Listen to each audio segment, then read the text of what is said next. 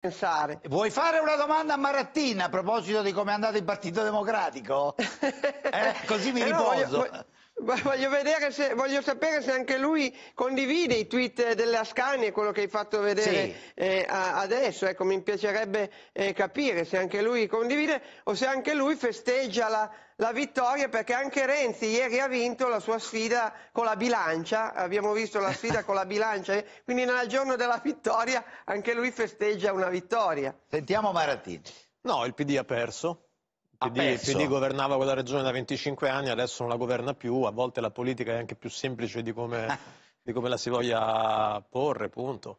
Eh, la cosa mi crea qualche sconvolgimento psicologico, ma sono d'accordo con Villarosa, dopo mi farò curare in qualche modo, perché è evidente che si devono confrontare le elezioni eh, simili. Il PD nel 2014, cito Livorno, potrei sbagliare di qualche cifra, prese ehm, nello stesso giorno il 50% alle europee e il 20 o il 25 alle comunali, cioè la stessa persona quando schede davanti eh, votò eh, in maniera così, così difforme. Quindi è evidente che le persone votano in maniera a volte anche sensibilmente diversa a seconda del livello di governo che si elegge.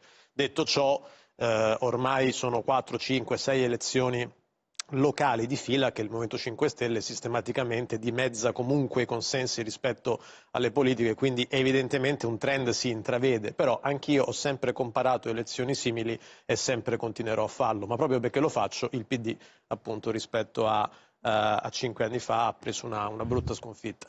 Io non voglio fare polemiche, non- davvero, nel senso quindi non, non voglio usare toni eccessivi. È evidente che il momento di difficoltà politica del PD non dipendeva da Matteo Renzi, non c'è bisogno di fare essere un renziano rancoroso per notare questo fatto, così come è evidente che questa sconfitta non può certo essere attribuita a un segretario che è stato eletto settimana scorsa, sta prendendo Sì. possesso adesso degli organismi di possesso, un brutto termine, sta prendendo diciamo, responsabilità piena adesso degli organismi dirigenti del, del PD. Eh, oggi mi pare c'è la prima direzione del nuovo Sì. corso Zingaretti, ma a voi cos'è che non va bene? Cioè che ci sia magari un ritorno eh, di, eh, di tanti esponenti che sono andati via dal Partito Democratico, no, no, dai nomi insomma li conosciamo tutti, da Bersani in poi, cioè che cos'è che Guardi, eh, io eh, ho, ho vi dif- fa irritare? Ho il difetto a volte di essere eccessivamente coerente. Ho sempre detto che in un grande partito ci si confronta con idee alternative.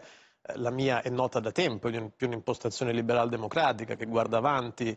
Eh, ce ne sono altre nel partito. Le primarie hanno avuto un risultato chiarissimo. Eh. Ha vinto l'impostazione di Zingaretti, che ha pieno diritto di impostare la sua linea politica come vuole. Ovviamente persone come me hanno pieno diritto pur nell'unità del partito, negli organismi dirigenti, di contestarla se sarà difforme da quello che eh, diciamo noi, noi- Ma, io ma immagino, al ma non è che... anche che se fosse così in disaccordo lascerebbe il partito? Guardi- Potrebbe lasciare il partito? Giachetti mi pare l'ha No, annunciato allora, qualche se, giorno se. Zingaretti, ma come se, Re- diciamo se tre anni Eh. fa Renzi avesse cominciato a dire eh, porto il rapporto debito-PIL al 180%, eh, che ne so, mi in mente neanche le cose più assurde del mondo, insomma alzo le tasse a tutti, eh, faccio esplodere la spesa pubblica, io avrei lasciato il partito, perché in un partito si sta quando si crede nei valori e nelle politiche che mette in atto, non è che si entra o si esce se mi è simpatico il, il segretario. Mm. Eh, quindi chi- chiunque voglia imprimere al PD una linea politica radicalmente diversa da quello che io penso, cioè, a chiunque di noi si iscrive